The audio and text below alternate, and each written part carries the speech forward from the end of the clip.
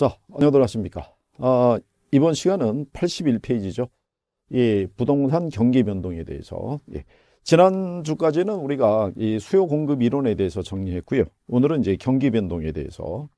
경기 변동에 대한 거는요, 문제가 인용이 되더라도 근래에는 이제 거미지 모형에 대한 것이 이제 주로 나오고 있고, 경기 변동의 이론에 대해서는 예, 근래 출제는 잘 안 되는데 나오면은 별로 어렵지 않게 우리가 맞출 수 있다 이렇게 보시면 되겠고요. 아, 1번 문제를 보시면 경기 변동에 관한 설명으로 옳은 거를 고르라고 그랬을 때 자, 첫 번째 경기 회복의 징후로는 공가율의 감소, 건축 허가의 증가 등이 나타난다. 예, 맞는 표현이죠. 아, 경기가 이제 회복이 되게 되면 그만큼 거래가 증가를 하게 되겠고요. 그 다음에 이제 건축에 대한 허가, 인허가가 이제 조금씩 늘어나는 그런 현상이 나타나겠고요.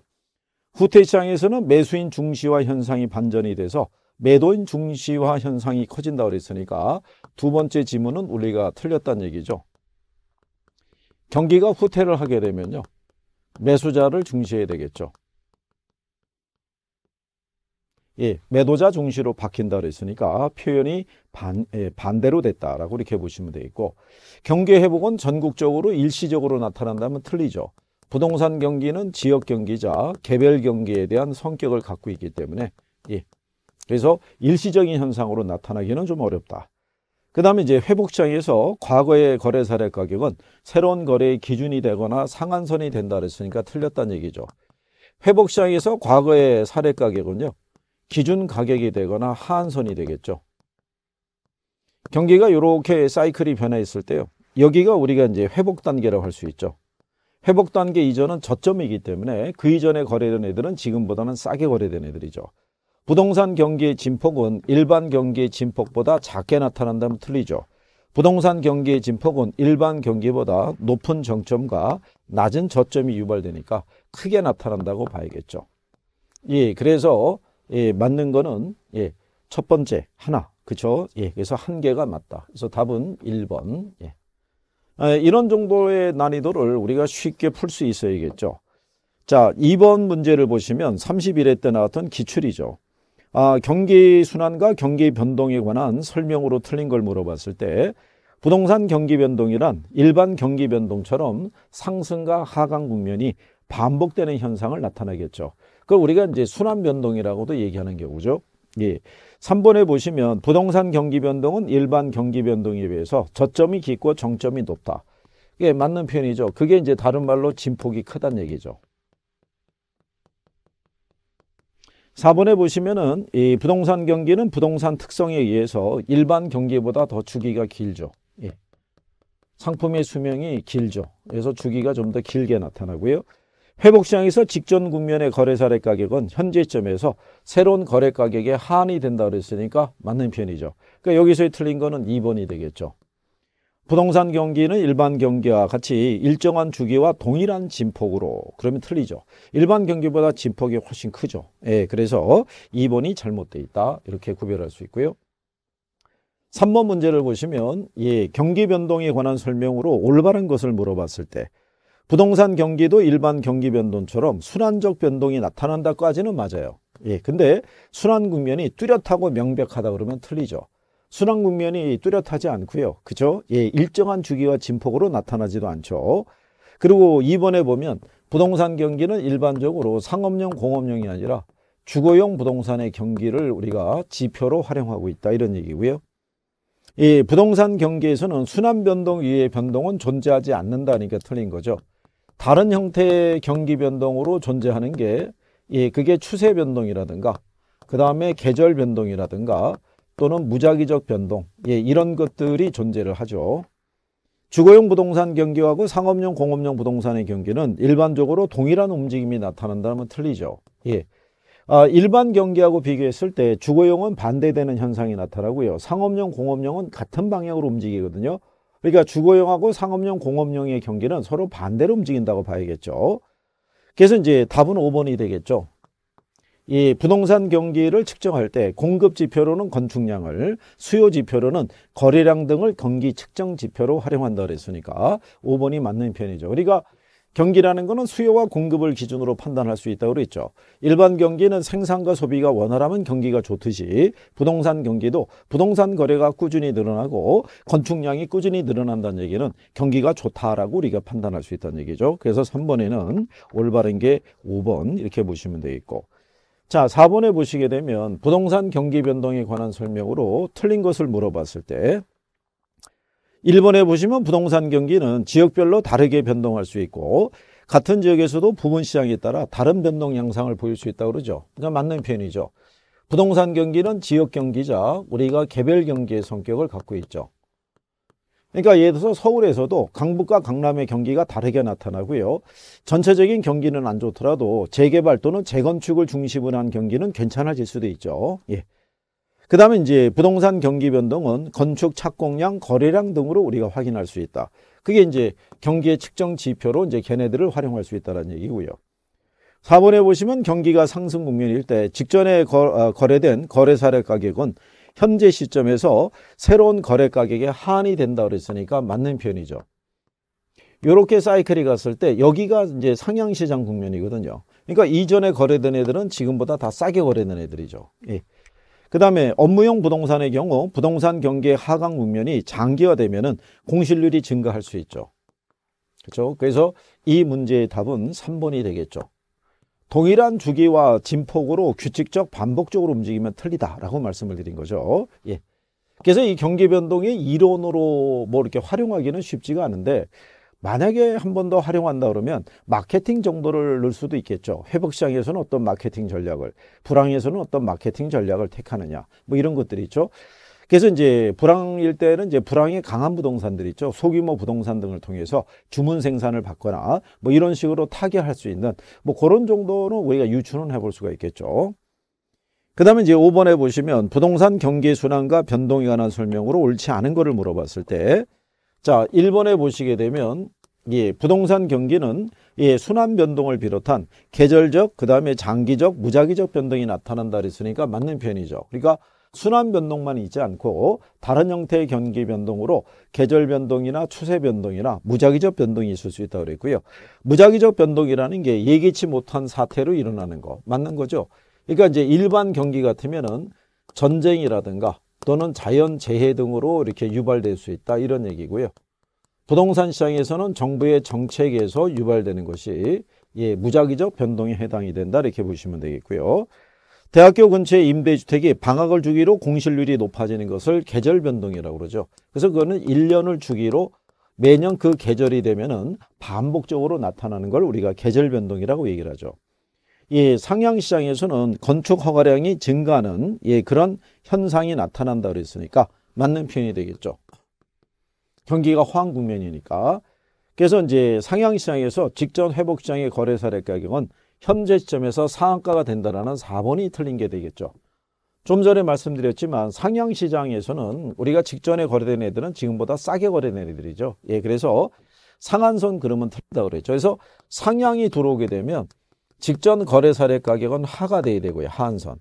하향 시장이 들어오게 되면 직전 국면의 거래 사례 가격은 상한선이 돼야 된다. 그래서 상이 들어오면은 하가 돼야 되고요. 하가 오면은 상. 이렇게 반대로 표시돼야 된다라고 예, 이론 정리할 때 우리가 해 봤던 거죠.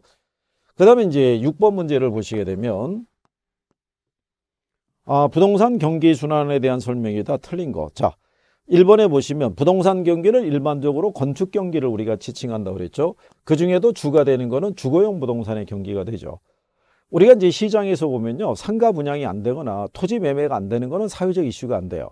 근데 분양가가 계속 올라가고 있고요. 그 다음에 주택 공급이 부족해서 전세난 이 품귀 현상이 발생한다 그러면 바로 사회적 이슈가 되죠. 그래서 경기의 주를 이루고 있는 거는 주거용 부동산 경기라고 할 수 있고요.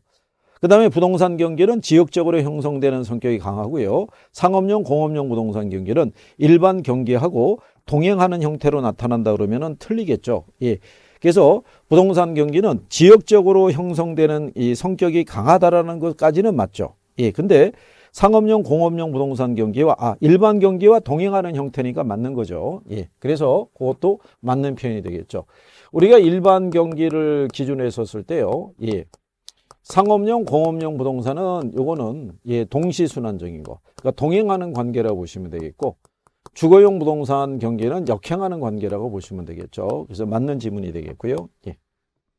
그 다음에 이제 3번에 보시면 부동산 경계 측정 지표로는 건축량, 거래량 등이 이용이 되고 거시경제 지표로는 통화량, 물가 등도 이용이 된다 그랬을 때 맞는 편이죠.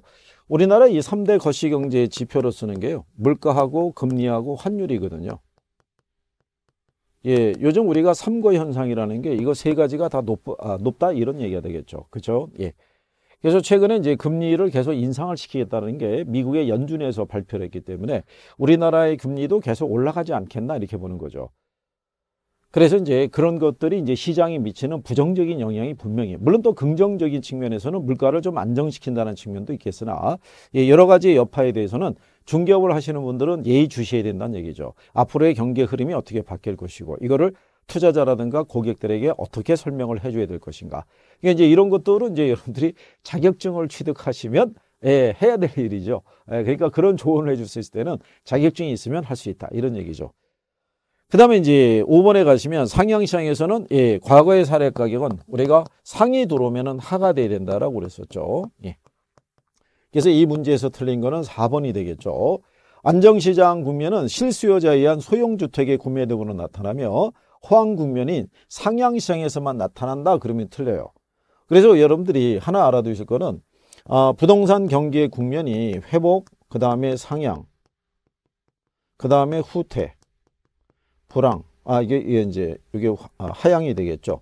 이게 상향이 일반 경기의 호황에 해당이 되고요. 이게 일반 경기의 불황에 해당이 되거든요.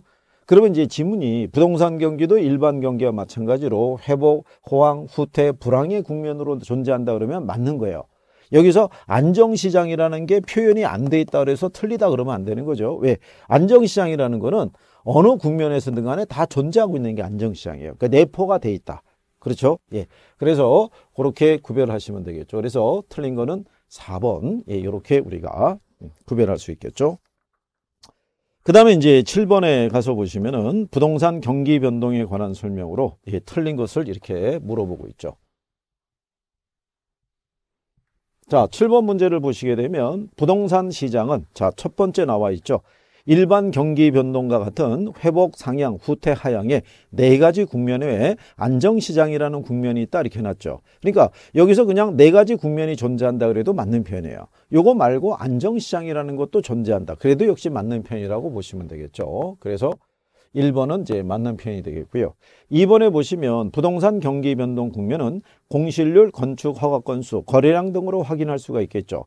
공실률이 줄어들고 있다는 얘기는 경기가 좋아진다는 얘기죠. 건축허가 건수가 늘어난다는 것도 경기가 좋아지고 있다. 거래량이 늘어나는 것도 경기가 좋아지고 있다. 반대의 경우는 경기가 안 좋아지고 있다. 이렇게 우리가 유추할 수 있겠죠. 그래서 역시 맞는 표현이 되겠고요. 그 다음에 4번에 보면 순환적, 계절적, 무작위적 변동 등의 예, 모습이 나타난다는 것도 예, 맞는 표현이죠. 그 다음에 이제 상향에서는 우리가 과거의 사례 가격 물어보면 상이면 무조건 하가 돼야 된다라고 얘기를 했던 거죠. 예, 그래서 거래 가격에 한선이 되는 경향이 있다. 여기서 답은 3번이죠. 일반 경기 변동에 비해서 정점과 저점 간의 진폭이 작다 그러면 틀리죠. 진폭이 크죠. 그죠? 예. 그 다음에 이제 8번에 보시면 부동산 시장의 경기 순환 국면의 특징에 대한 내용으로 틀린 것을 물어봤죠. 예, 거기 보시면은 1번에 회복 시장 전문 활동에서는 매수자 중시의 태도가 매도자 중시로 변화된다는 것은 맞는 편이죠. 경기가 회복이 되면은 가격이 이제 올라갈 조짐을 보이잖아요. 그러면은 매물이 들어가요. 그러니까 중개업자가 거래를 이제 성사시키려고 그러면 물건을 확보해야 되니까 매도자 중시로 변화가 되겠죠. 하향시장에서 보면요. 상향시장에서 곧바로 하향으로 진행되온 초기에는 건축허가 신청 건수가 곧바로 줄어들지 않는 타성 현상이 존재한다는 것도 맞는 표현이죠. 이게 원래 타성이라는 게 게으를 타자인데 그러니까 움직임에 있었을 때 그 좀 느리다 둔화가 된 형태로 나타난다는 얘기는요. 상향에서 갑자기 경기가 후퇴해서 하향으로 바닥으로 떨어졌잖아요. 예 그렇게 되면 사람들은 바로 그 초기에는 인식을 못하죠. 여전히 경기가 좋은데 일시적인 현상이 아닐까. 예, 이렇게 판단할 수도 있기 때문에 이런 현상이 나타난다. 이런 얘기죠 후퇴장에서 보게 되면 매도자 중시화 현상이 점차 증가하다가 매수자 중시화 현상이 커진다 그랬으니까 맞는 편이죠. 경기가 그래서 좋을 때는 매도자가 시장을 주도하고요. 경기가 안 좋을 때는 매수자가 시장을 주도한다는 것을 예, 잊지 마시고요. 안정시장에서는 호불항의 진동의 크기가 다른 부동산에 비해서는 비교적 낮죠. 그래서 안정이라는 표현이 들어간 거죠. 그러니까 안정시장에서는 과거의 거래사례 가격은 새로운 거래했을 때 기준 가격이 되겠죠. 그죠? 그래서 답은 4번이겠죠. 상향시장에서 과거의 거래 사례 가격은 새로운 거래의 상한선이 된다 그랬으니까 일단 틀렸다 이런 얘기죠. 대신에 부동산 전문 활동에서는 매도자 관리에 중한점을 두죠. 예, 그래서 어, 시험상에서 지문이 이렇게 두 개가 나왔을 때요. 예, 그랬을 때 앞에 거는 예를 들어서 틀리는데 뒤에 게 맞을 수도 있고요. 반대로 앞에 거는 맞는데 뒤에 게 틀릴 수도 있어요. 그러니까 지문에 대한 내용을 정확하게 잘 살펴볼 수 있어야 된다는 얘기죠. 예. 예, 그 다음에 이제 9번에 보시게 되면 거미집 모형에 대해서 이제 물어보고 있죠. 예. 자, 거미집 모형이 시사하는 바를 기술한 것이다. 옳지 않은 것을 이렇게 물어봤었을 때요. 자, 여러분들이 보시다시피 거미집 모형이라는 것은요. 수요와 공급 간의 이 불균형에서 나타나는 거거든요. 그러니까 수요의 변화에 대해서 공급이 즉각적으로 대응하지 못했을 때, 즉 수요와 공급 간에 반, 아, 발생하는 시차 관계를 설명하고 있다 이런 얘기죠. 그래서 이제 부동산 경기가 일반 경기보다 진폭이 크다는 얘기죠. 그래서 이번에 보시면 주기적으로 수요 초과하고 공급 초과가 나타나는 현상이 거미집 모형에서 나타나는 거죠. 그리고 이 같은 현상이 나타나는 게 3번에 그걸 우리가 시간적인 갭이라고 그러는 것을 그걸 타성기간이라고 얘기를 하죠.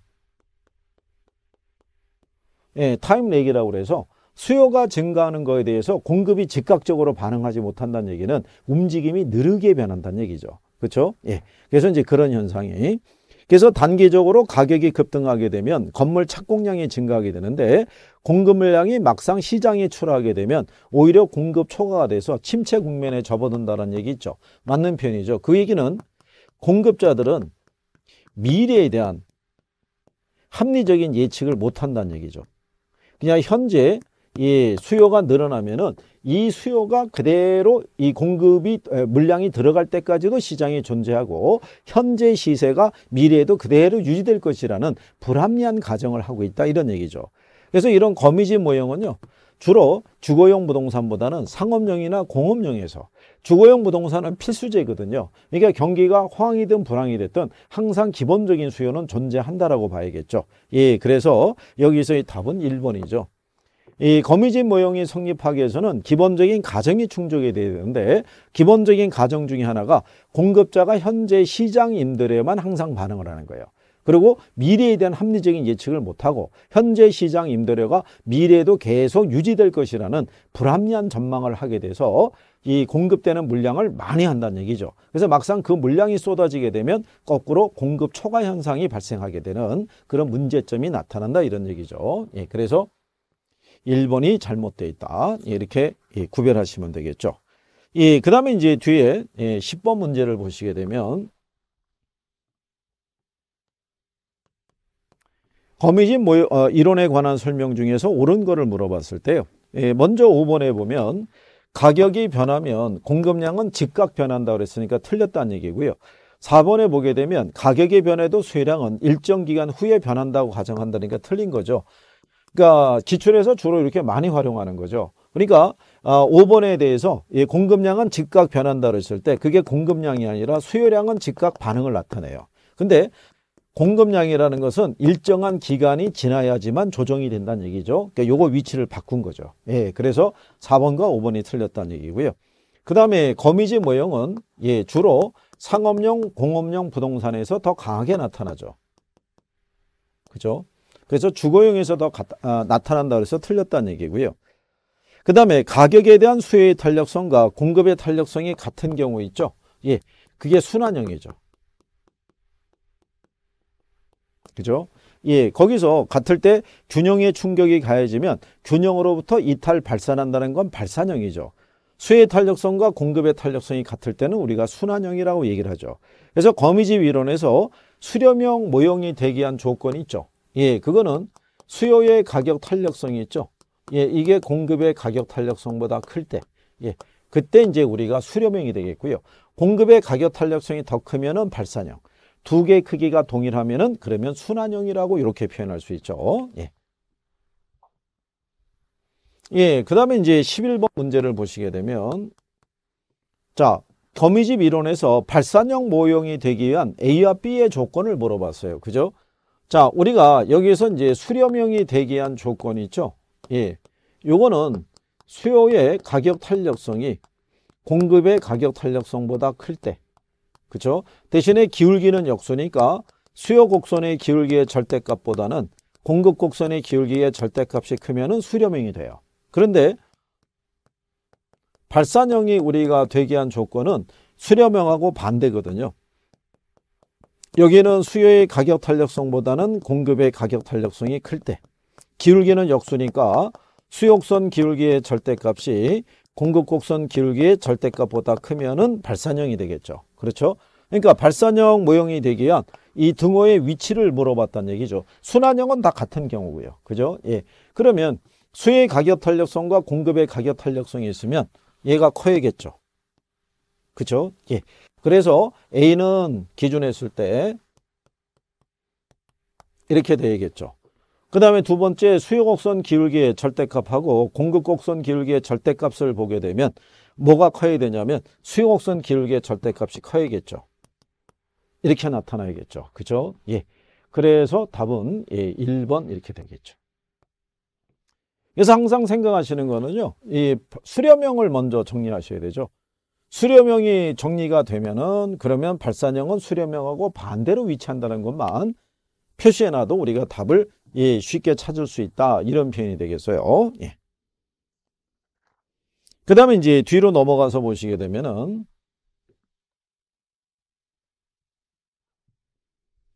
자 12번 문제를 보시면 다음과 같은 조건에서 거미집 이론에 따를 때 수요가 증가하면 A 부동산과 B 부동산의 모형 형태를 물어봤어요. 그죠? 예. 그래서 문제 조건 안에서 보시게 되면 수요 곡선 기울기에 대한 건 절대값으로 우리가 나타나거든요. 예. 그래서 A 부동산을 기준으로 했을 때 예, 수요 곡선 기울기의 절대값은 마이너스 0.8로 돼 있고요. 그 다음에 공급 곡선에 대한 거는 0.6으로 이렇게 돼 있을 때 근데 절대값으로 명시하니까 마이너스의 부호가 생략이 되죠. 그럼 0.8이 0.6보다 크죠. 그러면 수요 곡선 기울기의 절대값이 공급 곡선 기울기의 절대값보다 크니까 이거는 발산형이 되겠죠. 그렇죠? 근데 B 부동산을 보게 되면 0.5, 0.5 똑같잖아요. 그죠? 수요 곡선 기울기의 절대값도 0.5. 공급 곡선 기울기의 절대값도 0.5. 같으면 순환형이죠. 그죠? 예, 그래서 발산형하고 순환형이 되는 답이 3번이 되더라 이런 얘기죠. 그래서 이 기울기의 절대값으로 표시하기 때문에 마이너스 플러스의 부호는 생략된다라고 이렇게 여러분들이 생각하시면 되겠죠. 예, 그 다음에 이제 13번 문제가, 예, 이게 이제 재작년에 나온 거죠. 거미집 이론에 관한 내용이다. 가로 안에 들어갈 모형 형태를 이렇게 물어봤다는 얘기죠. 예. 그래서 X축은 수량, Y축은 가격을 나타내며 이렇게 명시가 되어 있는데요. 예. 아, 이거는 이제 왜 그렇게 되냐면 옛날에 여러분들이 학창 시절에 수학을 배웠을 때는요. 이렇게 되죠. 그러니까 이게 독립 변수고 이게 종속 변수거든요. 그러니까 X값에 의해서 Y의 값이 결정이 되는데 경제학에서는 이게 반대가 돼서 여기가 가격, 여기가 수량이거든요. 그러니까 위치가 서로 바뀐 거죠. 그러니까 이제 여기가 Y축이 가격이라고 이제 표현을 해준 거죠. 예, 그래서 그렇게 표현을 한 것이라고 보시면 되겠고. 그래서 수요의 가격 탄력성의 절대값이 공급의 가격 탄력성의 절대값보다 크면 무슨 형이냐 이런 얘기죠. 그럼 우리가 이제 얘기한 것처럼 수렴형이 되기 위한 조건이 있죠. 예, 수요의 가격 탄력성이 공급의 가격 탄력성보다 크면 예, 그럼 우리가 이제 수렴형이죠. 그렇죠? 예. 그래서 이제 수렴형이 되니까 답은 1번 아니면 2번이라는 얘기죠. 그렇죠? 근데 반대로 수용선 기울기의 절대값이 있죠. 탄력성하고 기울기는 반대니까 예, 여기는 수렴형이 되기 위해서는 공급 곡선 기울기의 절대값이 커야겠고요. 발산형이 되기 위해서는 공급의 가격 탄력성이 커야죠. 그죠? 예, 이렇게. 그러면 이제 기울기는 반대니까 수용선 기울기의 절대값이 예, 공급 곡선 기울기의 절대값보다 오히려 커야겠죠. 이렇게. 그죠? 그래서 이게 크다라는 얘기는 이 발산형이 되겠죠. 그래서 답이 2번이 되겠죠. 이렇게 예. 그래서 이제 요거는 수료명을 기준으로만 먼저 정리하시면은 예, 구별이 가능하다 이런 얘기가 되겠고요. 예. 예, 그 다음에 이제 뒤로 넘어가시면 14번 문제가 주어져 있을 때요.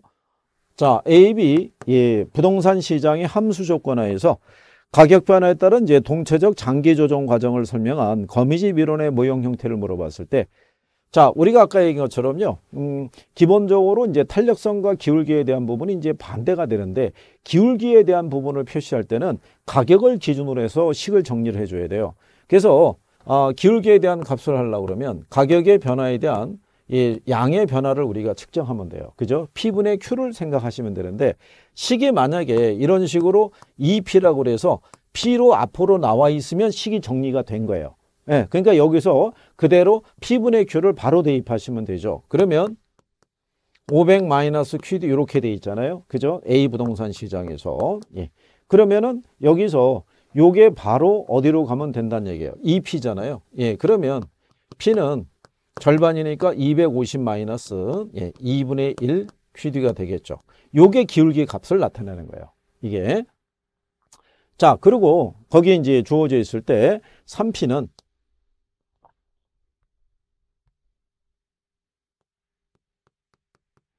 (300) 플러스 4QS로 되어 있겠죠. 그러면 P는 100 플러스 3분의 4QS가 되겠죠. 그러면 요게 기울기인데 기울기의 절대값이니까 이 부호, 부호는 생략이 되는 거죠. 그러면 2분의 1하고 예, 3분의 4가 있으면 3분의 4가 크죠. 그러면 공급곡선 기울기의 절대값이 큰 거니까 얘는 수렴형이 되겠죠.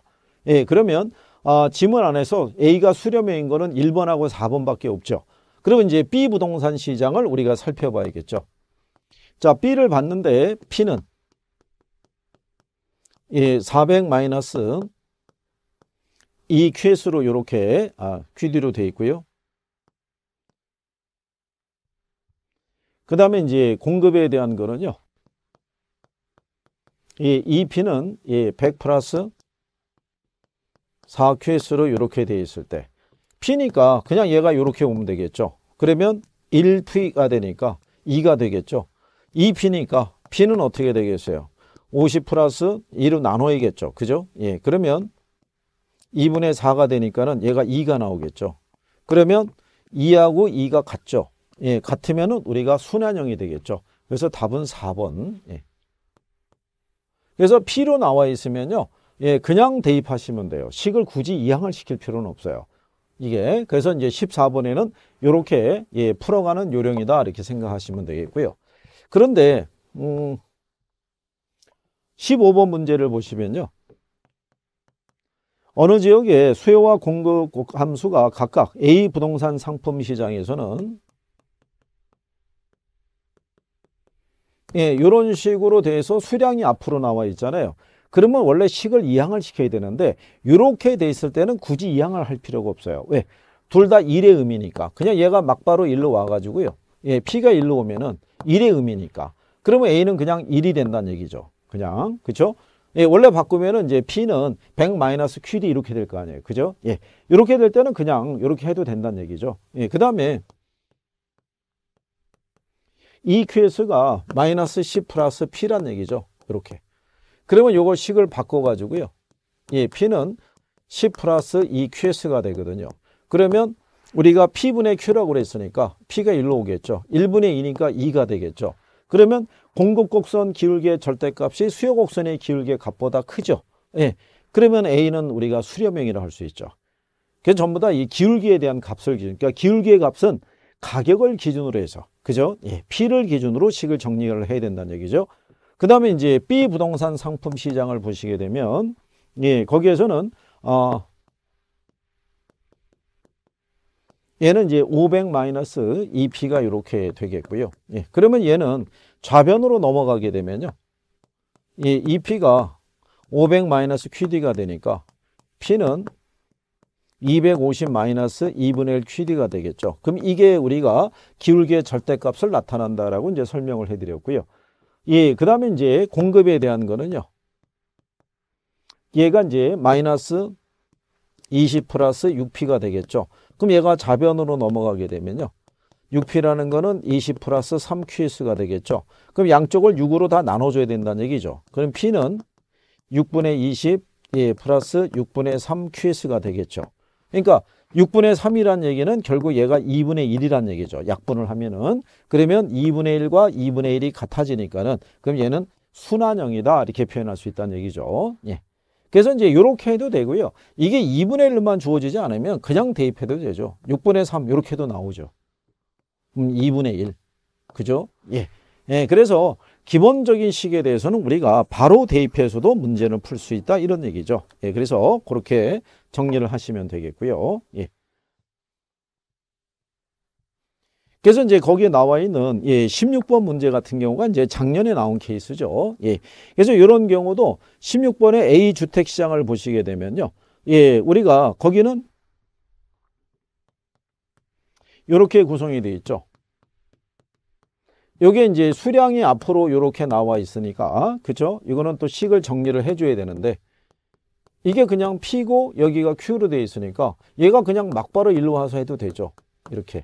그러면 얘는 그냥 1이 된다라고 이렇게 할 수도 있죠. 그죠? 예, 근데 공급에 대한 거를 보시게 되면 100 플러스 4P가 되는 거죠. 이렇게. 그죠? 그러면 얘를 이렇게 이항을 시켜야 되면 4P가 100 플러스 QS가 되니까 P는 그죠? 예, 나누면은 25 플러스 얘가 4가 되니까 4분의 1 QS가 되겠죠. 요게 기울기니까. 1하고 4분의 1 있으면은 1이 더 크다라고 얘기할 수가 있겠죠. 그러니까 수요 곡선의 기울기의 절대값이 크니까 이거는 발산형이다. 그래서 A는 발산형 이렇게 되겠죠. 근데 B 시장을 보게 되면요. 500 마이너스 2P로 돼 있죠. 그러면 얘도 그냥 넘기면은 2P는 500 마이너스 QD가 될 거고요. 그러면 P는 예, 250 마이너스 2분의 1 QD가 되겠죠. 그러면 그냥 들어와서 해도 되죠. P분의 Q가 되니까 굳이 이항을 시키지 않고 그런데 이제 이런 경우가 있다는 얘기죠. 200 플러스 예, 2분의 1 P가 되겠죠. 그럼 얘가 좌변으로 넘어오게 되면 2분의 1 P잖아요. 이렇게 됐을 때 2분의 1P니까 P가 되기 위해서는 같은 수가 되기 위해서는 양쪽에 2를 갖다가 곱해야 되니까 400 플러스 2QS가 되겠죠. 그렇죠? 예, 그러면 공급 곡선의 기울기의 절대값이 그죠? 수요 곡선의 기울기의 절대값보다 크죠. 그래서 얘는 아, 수렴형이 되더라 이런 얘기죠. 그래서 이제 이렇게 2분의 1로 주어져 있을 때는 이제 좌변으로 넘겨서 그러니까 결국 곱하기 2가 된다라고 이렇게 생각하면 되겠죠. 그죠? 예. 그래서 QS가 결국 어떻게 된다? EQS가 된다. 이런 값만 있으면 풀 수 있다는 얘기죠. 예, 그래서 약간의 식을 변형해서 줬다. 뭐 이런 얘기죠. 그래서 이제 16번에는 답이 예, 4번 이렇게 되겠고요. 아, 15번에 답을 명시를 안 해드렸나요? 예, 1번이 되겠죠. 예. 그래서 거미집 모형에서 수요함수하고 공급함수를 풀어갈 때는요. 기울기에 대한 거는 P분의 Q를 잊지 마시고 단순 대입해서 우리가 풀어낼 수도 있으니까 예, 그렇게 정리하시면 되겠죠. 자, 그래서 이번 시간에는 거미집 이론, 즉 경기 변동에 대해서 정리했고요. 다음 시간에는 95페이지에 예, 있는 부동산 시장론에 대한 내용을 정리해 보도록 하겠습니다.